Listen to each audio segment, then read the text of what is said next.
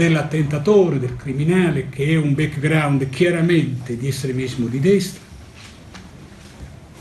con chiari riferimenti al fascismo e al nazismo. Non solo nei comportamenti, ma insomma in tutto il suo background di carattere formativo, se si può usare questo termine in questa circostanza.